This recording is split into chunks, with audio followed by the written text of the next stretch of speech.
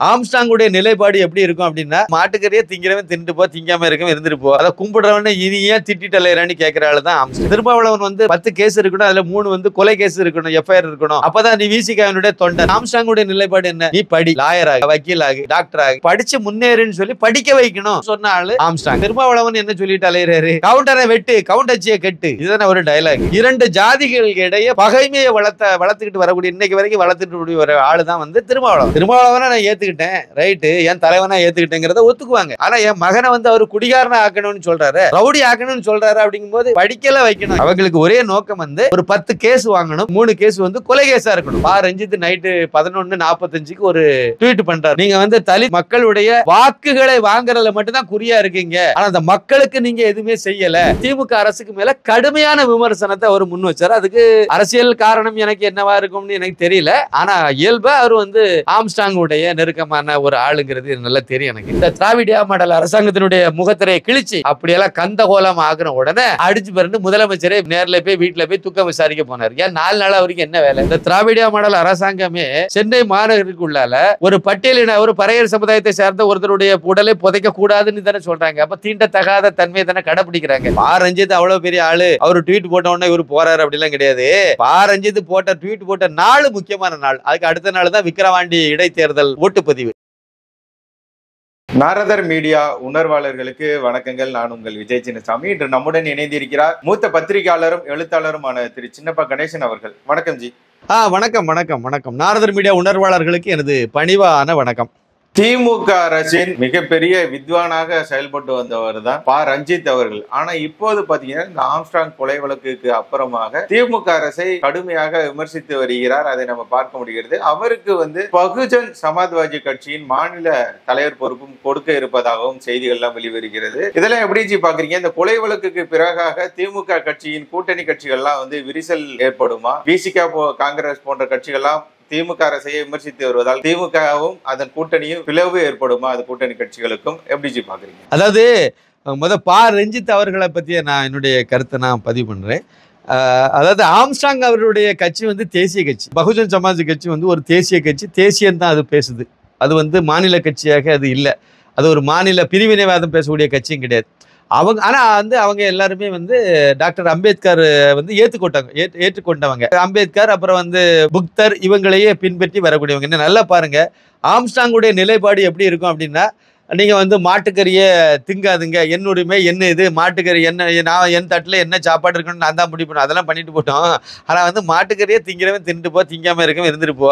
அதை கும்பிடுறவனே இனி ஏன் திட்டிட்டு அலையிறான்னு கேட்குற ஆள் தான் ஆம்ஸ்டாங் கேட்ட ஆள் தான் வந்து ஆம்ஸ்டாங். மாட்டுக்கறி விவகாரத்திலேயே. அதே மாதிரி மற்ற விஷயத்துலையும் பார்த்தீங்க அப்படின்னா அவருடைய நிலைப்பாடு வேறு விதமாக இருக்கும். இப்போ வந்து திருமாவளவன் வந்து பத்து பே கொலை பத்து கேஸ் இருக்கணும் அதில் மூணு வந்து கொலை கேஸ் இருக்கணும் எஃப்ஐஆர் இருக்கணும். அப்போ தான் நீ விசிகாவினுடைய தொண்டன் எப்படி? ஒரு தலைவனுடைய லட்சணத்தை பாருங்க விளங்குமா? அதை பின்பற்றி போகக்கூடிய தொண்டன் என்ன ஆகும் அப்படியே வந்து கட்ட பஞ்சாயத்துக்கு ஆளை தயார்படு ஆள் சேர்க்கிற சேர்க்கிற விதமாக இது அமையும். அப்படி தானே செய்த அப்படி தான் திருமாவளவனுடைய நிலைப்பாடு. ஆனால் இந்த மனிதருடைய ஆம்ஸ்டாங்குடைய நிலைப்பாடு என்ன? நீ படி லாயர் ஆகு வக்கீல் ஆகு அதே மாதிரி வந்து டாக்டர் ஆகு நீ இந்த என்ஜினியரோ இந்த மாதிரி படித்து முன்னேறுன்னு சொல்லி படிக்க வைக்கணும். அந்த சமுதாயத்தில் பின்தங்கிய அந்த மக்கள் வந்து படிப்பால் முன்னேறணும்னு சொன்ன ஆள் ஆம்ஸ்டாங் அதை நடைமுறையிலையும் பயன்படுத்தின ஆள் அவர். ஜீவர் வந்து அதை இப்போ திருமாவளவன் என்ன சொல்லிட்டு அலையிறாரு? கவுண்டரை வெட்டு கவுண்டச்சியை கட்டு. இதுதானே ஒரு டயலாக் வன்னியரை வெட்டு வன்னியரை வீட்டு பெண்ணை கட்டு. இதுதான் அவருடைய டயலாக் அடங்க மறு அத்து மீறு. இப்படியெல்லாம் பேசி உசுப்பேத்தி சும்மா கிடக்கவனுக்கெல்லாம் வந்து இந்த மாதிரி ஜாதி வெறிய வளர்த்தாள். இரண்டு ஜாதிகளுக்கு இடையே பகைமையை வளர்த்த வளர்த்துக்கிட்டு வரக்கூடிய இன்னைக்கு வரைக்கும் வளர்த்துட்டு வர ஆள் தான் வந்து திருமாவளவன். ஆனால் நீங்கள் அந்த மாதிரி இவரை பார்க்க முடியாது. ஆம்ஸ்டாங்க அவர் வந்து அப்படி இல்லை. இப்போ வந்து நம்ம வட தமிழகத்தை எடுத்துக்கிட்டால் வன்னியர் சமுதாயம் ஒரு பெரிய சமுதாயம். பறையர் சமுதாயம் ஒரு பெரிய சமுதாயம்.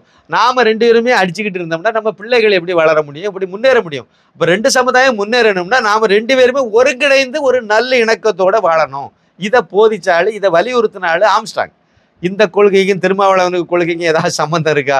இதான் தேசியவாதிகளுக்குடைய கொள்கைக்கும் ஒரு பிரிவினைவாதம் பேசக்கூடிய கொள் ஒருத்தருடைய கொள்கைக்கும் வித்தியாசம் இதுதான் இப்போ நான் விஷயத்துக்கு வரேன். இந்த அடிப்படையில் வந்து ஆம்ஸ்டாங் வந்து அந்த இதை முன்னிலை எடுத்து போனார். அது ஒரு ஆரோக்கியமான மு- முன்னெடுப்பும் கூட. அது வந்து வருங்காலத்தில் வந்து அது பெரிய ஒரு அளவில் விஸ்வரூபம் எடுக்க வாய்ப்பு இருந்துச்சு. இல்லைன்னுலாம் சொல்ல முடியாது. ஏன்னா இது வந்து அந்த சமுதாய மக்கள் அடித்தட்டு மக்கள்கிட்ட போய் சேரக்கூடிய விஷயம். அப்படி சேரும் பட்சத்தில் அது என்ன ஆகும்? அப்போ நிச்சயமாக அந்த பக்கம் எல்லாருமே சாய ஆரம்பிப்பாங்க. ஏன்னா எவ்வளவு நாள் தான் நீங்கள் வந்து கட்ட பஞ்சாயத்து பண்ணுறது குடிகாரன் ஆக்குறதுக்கு ஒத்துக்கிடுவாங்க திருமாவளவனை நான் ஏற்றுக்கிட்டேன் ரைட்டு என் தலைவனாக ஏற்றுக்கிட்டேங்கிறத ஒத்துக்குவாங்க. அவர் நல்லவர் வல்லவர் எல்லாம் இருக்கட்டு. ஆனால் என் மகனை வந்து அவர் குடிகாரனை ஆக்கணும்னு சொல்கிறாரு ரவுடி ஆக்கணும்னு சொல்கிறாரு அப்படிங்கும்போது படிக்கலாம் வைக்கணும். எத்தனை கிராமத்தில் வந்து இவர் நீட்டு பயிற்சி கோர்ஸ் சென்டரை ஓப்பன் பண்ணி விட்டுருக்காரு. அந்த சமுதாயத்தில் ஓப்பன் பண்ணல. என்ன பெரிய செலவு ஆக போகுது? இல்லைல்ல. அப்போ வந்து நிறைய இடத்துல நிறைய இதை உருவாக்கின என்ன நிறைய நீட்டில் நிறைய பேர் பாஸ் ஆகி டாக்டர் ஆகிட்டு போவாங்க. கோட்டாவில் ஈஸியாக வர முடியும். அப்போ அதுக்கு வந்து ஒரு சின்ன பயிற்சி மட்டும் கொடுத்தா போதும். அதை வருஷத்தில் சில மாதங்கள் அதை செய்கிறதுல என்ன பிரச்சனை? கோடிக்கணக்கில் சம்பாதிச்சாச்சு கொள்ளையடிச்சாச்சு. நீங்கள் இதை செய்து போகலாமே இதுக்கு ஒரு பெரிய விஷயமே தேவையில்லையா? குறைந்தபட்சம் திருமாவளவனுடைய அந்த சிதம்பரம் பாராளுமன்ற தொகுதிக்கு உள்ளால உள்ள அந்த பட்டியலின சமுதாய பறையர் சமுதாய மக்கள் இருக்கக்கூடிய பகுதிகளிலேயாவது இதில் நடைமுறைப்படுத்தலாம்ல? பண்ணவே இல்லையே. சென்னையில் வந்து அசோக் பில்லர் பக்கத்தில் தான் ஆஃபீஸே வச்சுருக்கீங்க வடபழனி பக்கத்தில் லட்சுமண் சுருதிக்கு பக்கத்தில் வச்சுருக்கீங்க அதுக்குள்ளே ஒரு பயிற்சி முகாம் நடத்தலாமே. சென்னையில் இருக்கக்கூடிய பறையர் சமுதாயத்தில் உள்ளவங்க எல்லாம் வந்து அதில் ப பயிற்சி பெற்று அவங்க டாக்டர் ஆகிட்டு போகிறாங்க இதே மாதிரி ஐஏஎஸ்க்கு கோச்சிங் வைங்க ஐபிஎஸ்க்கு வைங்க எல்லாத்துக்கும் நீங்கள் வரக்கு நிறைய செய்யலாமே. அதெல்லாம் தலை செய்யாது. அவங்களுக்கு ஒரே நோக்கம் வந்து ஒரு பத்து கேஸ் வாங்கணும். அதில் ஒம்பது ஏழு கேஸ் வந்து ஏ- மூணு கேஸ் வந்து கொலை கேஸாக இருக்கணும். எஃப்ஐஆர் கேஸ்னால் சாதாரண கேஸில் எஃப்ஐஆர் வாங்கணும். இப்போ எஃப்ஐஆர் முதல் போட மாட்டாங்க. போனால் சிஎஸ்ஆர் தான் போடுறாங்க. ஒரு தடவைக்கு ரெண்டு தடவை போட்டு அப்புறம் தான் எஃப்ஐஆர் கணக்குக்கே இப்போ போகுது நடவடிக்கை. ஆனால் நீங்கள் எஃப்ஐஆர் வாங்கணும் அது பத்து இருக்குன்னு அதில் மூணு கொலை கேஸாக இருக்கணும்னா எப்படிப்பட்ட நல்ல உள்ளம் பாருங்கள் இவ்வளோதான் வித்தியாசம். அதனால அந்த சித்தாந்த ரீதி அவர் பெரிய ஆளாக வந்துருவாருங்கிற நோக்கத்தில் இவங்க காலி பண்ணிட்டாங்கிற திருமாவளவன் சைடில் உள்ளவங்களே ஏன் காலி பண்ணியிருக்க மாட்டாங்கங்கிற ஒரு சந்தேகமும் எனக்கு உண்டு. ரவுடி கும்பல்கள்னால சென்னையில் இந்த திமுகவினுடைய பெரிய பெரிய ரவுடிகள் இந்த தாதாக்கள்லாம் அமைச்சராக இருக்காங்கல்ல இவங்க மூலமாக கூட இது நடந்திருக்கலாம். இருக்குது இதெல்லாம் சந்தேகம். அப்போ இதுக்கு வந்து சிபிஐ விசாரணை நடத்தினால்தான் உண்மையான குற்றவாளி வெளியே தெரி வ- வெளியே வருவாங்க. அப்படிங்கிறது உண்மை. இதைத்தான் பா ரஞ்சித் முன்னெடுக்கிறார். இந்த விஷயத்தை தான் அவர் அன்னைக்கு பாருங்கள் பா ரஞ்சித் நைட்டு பதினொன்று நாற்பத்தஞ்சுக்கு ஒரு ட்வீட் பண்ணுறார் ஒரு நீண்ட ட்வீட் அதில் ஒரு ஏழு கேள்விகளை கேட்குறாரு. திமுக அரசாங்கத்தை நேரடியாக சட்டையை பிடிச்சி மு க. ஸ்டாலினுக்கு சட்டையை பிடிச்சி கேட்குற மாதிரி கேட்குறாரு நீங்கள் வந்து தலித்து மக்களுடைய வாக்குகளை வாங்குறதுல மட்டும்தான் குறியாக இருக்கீங்க. ஆனால் அந்த மக்களுக்கு நீங்கள் எதுவுமே செய்யலை. ஒரு தலித்து தலைவர் மாநில தலைவராக இருக்கக்கூடியவர். அவர் பட்டப்பகல சென்னை மாநகருக்குள்ள செம்பியம் போலீஸ் ஸ்டேஷன் பக்கத்தில் அது முதலமைச்சர் மு க ஸ்டாலினுடைய தொகுதிக்குள்ளால இந்த மாதிரி வெட்ட முடியுதுன்னா வெட்டி கொலை செய்ய முடியுதுன்னா அந்த குற்றவாளிகளுக்கு வந்து பயமே இல்லை. அப்படின்ற பயம் இல்லாமல் ஒரு தைரியத்தை கொடுத்துருக்கல. அது யார் கொடுத்தது? இந்த கேள்வி ஒரு கரெக்டாக கேட்குற உண்மைதான் கூட. ஒரு கொலை ஒரு தடவை கொலை செய்ய போகிறதுக்கு ஒரு கூலிப்படையே வாரன்னா கூட அவனுக்கு ஒரு பேக்ரவுண்டில் ஒரு பயம் இல்லாத அளவுக்கு ஒரு சேஃப்டியாக ஒரு ஒரு அதிகார மையம் வந்து அதுக்கு உறுதுணையாக இருக்கணும்ல. இல்லாமல் செய்ய முடியாது. போலீஸ் ஸ்டேஷன் பக்கத்தில். அதுவும் அவங்க ஆயிரம் சிசிடிவி கேமரா வச்சுட்டு அலையிறாங்க. எல்லா கதையும் தெரிஞ்சு போயிடும் எதுக்கு சம்மந்தம் இல்லை இப்போ வாரன்லாம் தெரிஞ்சு போயிடும் அப்போ போலீஸ் ஸ்டேஷனையே ஆஃப் பண்ணிட்டு தானே இதை செய்திருக்க முடியும். அந்த சந்தேகம் இயல்பாக வரக்கூடியது தானே. அப்போ இதெல்லாம் பாரஞ்சித்துக்கும் வருது. அதே மாதிரி தலித்து தலைவர்களுக்கு பாதுகாப்பு சென்னை மாதிரியான நகரத்தில் இல்லை ஒரு மாநில நிர்வாகியே இல்லைன்னா மாவட்ட அளவில் ஒரு நகர்ப்புறங்களில் ஒரு சாதாரண குக்கிராமத்தில் என்ன நடக்கும்? இந்த பயம் இருக்குன்னு சொல்லி சொன்னார். இதெல்லாம் வந்து திமுக அரசுக்கு மேலே கடுமையான விமர்சனத்தை அவர் முன் வச்சார். அதுக்கு அரசியல் காரணம் எனக்கு என்னவா இருக்கும்னு எனக்கு தெரியல. ஆனால் இயல்பாக அவர் வந்து ஆம்ஸ்டாங்குடைய நெருக்கமான ஒரு ஆளுங்கிறது நல்லா தெரியும் எனக்கு. அவர் நமக்கு நேரடியாக பழக்கம் இல்லை. ஆனால் எனக்கு தெரியும். வேறு வழியில் எனக்கு தெரியும்.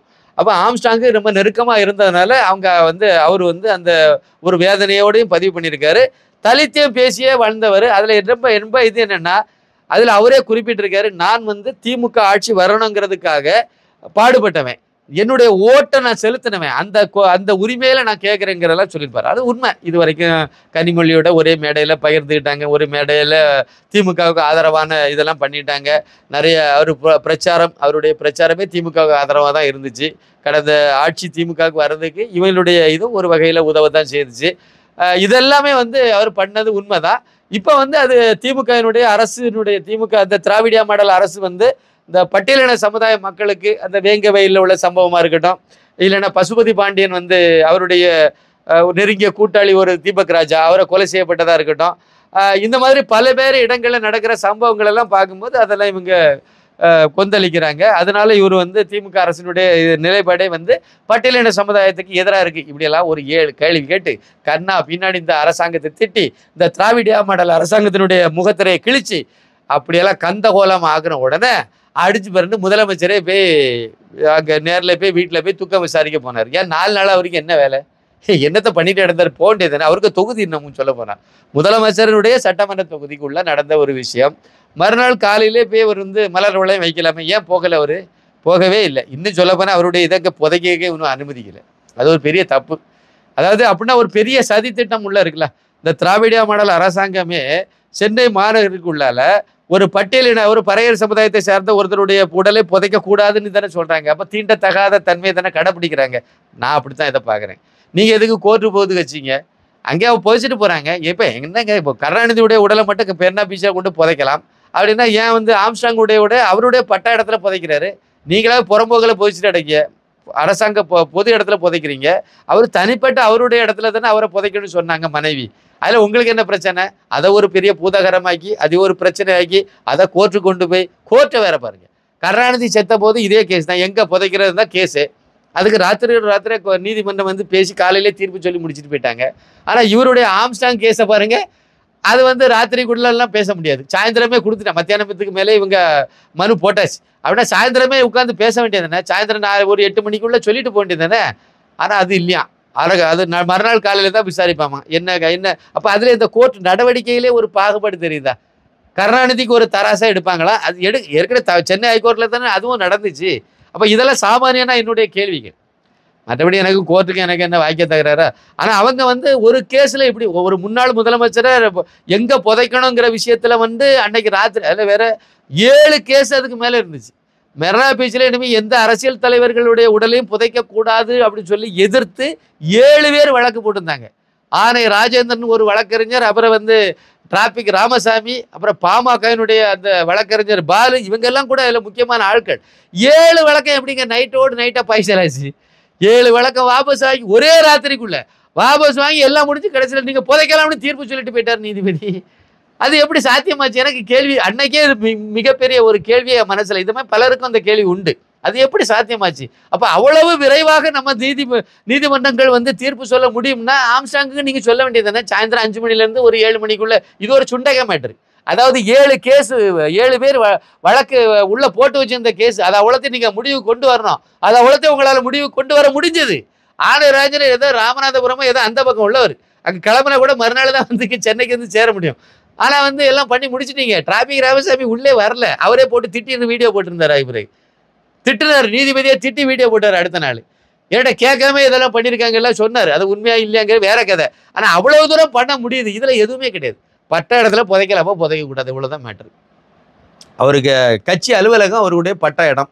அந்த இடத்துல அவருடைய உ- பூத உடலை புதைக்கலாமா? வேண்டாம்? இவ்வளோ தானே அதுக்கு எத்தனை மணி நேரம் ஆகும் போது அதை கேட்ட உடனே சொல்லிட்டு போகலாமே ஆனால் செய்யலை. செய்யாமல் மறுநாள் வச்சு அப்புறம் இழுத்து அப்புறம் கோ- அரசாங்க தரப்பில் அடுத்து ஒரு இது. அவருடைய உடலை இப்போது வந்து அரசாங்க பள்ளிக்கூடத்தில் வச்சுருக்காங்க. அந்த பள்ளிக்கூடத்தில் வந்து நாளைக்கு வந்து திங்கக்கிழமை அது வேலை நாள். அதனால வந்து சீக்கிரமாக முடிக்கணும்.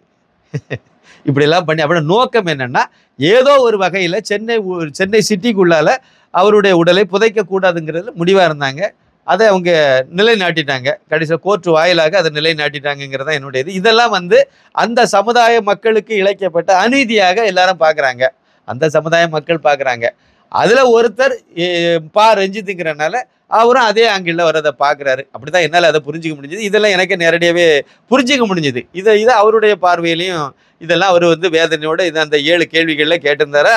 கேட்டதுனால மறுநாள் காலையில் பாரு பன்னிரெண்டு மணி நேரத்துக்கு உள்ளால அடித்து பரண்டு உளுந்து போகிறார் நம்ம முதலமைச்சர் மு க. ஸ்டாலின்காரு கிளம்பி போகிறார் அங்கே போய் இருந்து சம்பிரதாயத்துக்கு ஒரு டிவிக்காரனையும் உள்ளே விடலை ஒரு உள்ள அவங்க சொந்தக்காரங்களே வீடியோ எடுக்க விடலை இவங்களா ஒரு வீடியோ எடுத்து அதை நல்லா எடிட் பண்ணி கட் பண்ணி எல்லாம் ஒப்பேத்தி அதை வந்து அன்னைக்கு வெளியே விட்டுட்டாங்க. இப்படி ஒரு நாடகத்தை அழகாக அரங்கேற்றினாங்க. இதுக்கு ஒரு முக்கியமான காரணம் என்ன அப்படின்னா பா ரஞ்சித் அவ்வளோ பெரிய ஆள். அவர் ட்வீட் போட்டவுடனே இவர் போறாரு அப்படிலாம் கிடையாது. பா ரஞ்சித் போட்ட ட்வீட் போட்ட நாள் முக்கியமான நாள். அதுக்கு அடுத்த நாள் தான் விக்கிரவாண்டி இடைத்தேர்தல் ஓட்டுப்பதிவு. அப்போ ஓட்டுப்பதிவுக்கு முந்தின நாள் நைட்டு போட்டார். அவனா முந்தின நாள் பகலில் இது அவ்வளவுமே சர்க்குலேட் ஆக போகுது. ஆயிடும். ஏன்னா அது ஈஸி ஆகிடும் ஏன்னா ஒரு பிரபலம் அவர். அன்னைக்கு நான் பார்த்த நேரத்தில் அது எப்படியும் வந்து ஒரு இருபது லட்சத்துக்கு மேலே பார்த்துருப்பாங்கன்னு நினைக்கிறேன். அந்த மாதிரி தான் நானே பார்க்கும்போது. அப்போ அது மிகப்பெரிய அளவில் சர்க்குலர் இருபது லட்சம் பதினஞ்சு லட்சத்துக்கு மேலே போயிட்டு. அவ்வளோ பேர் அதை பார்த்துருக்காங்க. அது மிகப்பெரிய இதாக இருந்தாலும் அந்த சமுதாயம் சார்ந்த சமுதாயத்தில் உள்ளவங்க எல்லாம் இவரை ஏற்றுக்கொண்டவங்க. கண்டிப்பாக எல்லாரும் பார்த்துருவாங்க. அப்போ விக்கிரவாண்டி இடைத்தேர்தலில் விக்கிரவாண்டி சட்டமன்ற தொகுதிக்குள்ளே முப்பது சதவீதத்துக்கும் அதிகமான பறையர் சமுதாய மக்கள் இருக்காங்க. அங்கே போய் டேமேஜ் பண்ணிடும்ல.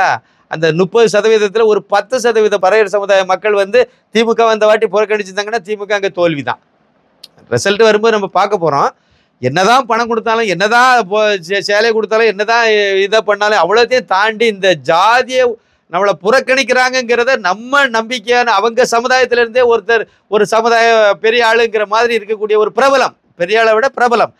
பிரபலம்ங்கிற இடத்துல இருக்கக்கூடிய பா ரஞ்சித் இதை சொல்கிறாரு அப்படிங்கும்போது அவங்க அதில் கொஞ்சம் இளைஞர்களை பாதிக்கும். ஏற்றிருப்பாங்க ஏற்றிருக்கலாம் அதை பா கவனிச்சிருக்கலாம். அந்த இளைஞர்கள் அவங்க வீட்டில் உள்ளவங்கள ஓட்டை மாற்றிருக்கலாம் நடந்திருக்கு சாத்தியம். அப்படி மாற்றக்கூடாதது ஏதாவது நடந்துடக்கூடாதுன்னு இவர் ஓடி போனார் மற்றபடி வந்து இவங்களுக்கு வந்து அதில் எந்த இதுவுமே கிடையாது.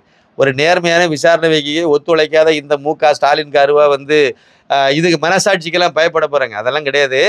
அவங்கள பொறுத்த வரைக்கும் அந்த விக்கிரவாண்டி இடைத்தேர்தலில் அங்கே பறையர் சமுதாய வாக்கு முப்பதாயிரம் முப்பது சதவீதம் ஓட்டு இருக்குது முப்பது சதவீதம் என்பது கிட்டத்தட்ட ஒரு எழுபத்தையாயிரம் ஓட்டுக்கு மேலே வந்துடும் அப்போ எழுபத்த எழுபது எழுபத்தையாயிரம் ஓட்டு பறையர் சமுதாய ஓட்டு இருக்குது அதில் ஒரு இருபது முப்பது ச முப்பதாயிரம் ஓட்டு கலந்துட்டுனாலே கதை கந்தலாகி போயிடும் அதனால அது பெயரக்கூடாது அதெல்லாம் திமுக உள்ளக்கூடிய ஓட்டு அது பாதிப்புக்கு உள்ளாகுது. பா ரஞ்சித் மூலமாக இது நடக்குதுங்கிற நடக்க வாய்ப்பு இருக்குங்கிறதுனால ஓடி போனாரு. இதான் நடந்துச்சு.